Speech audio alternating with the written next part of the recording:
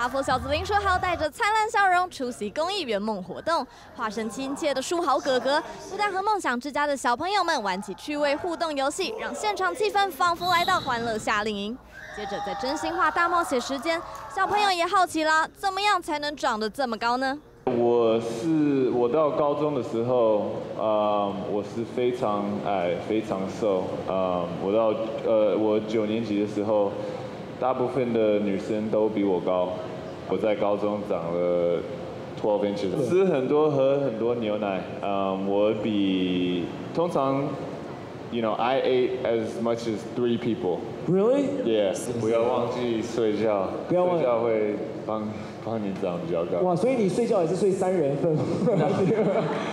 即使长高到了一百九十一公分，加上不断的努力，让林书豪创下林来疯的风光。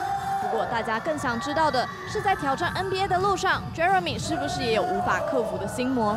一年在 NBA 我是呃加盟勇士队，然后我表现的比较不好，呃，因为我给我自己很多压力，所以我每天呃到呃呃到球场的时候我就打得很乱，呃，然后一呃大家都一直笑我，然后记者一直写坏话，然后粉丝就说我不应该在勇士队或或者我不应该在。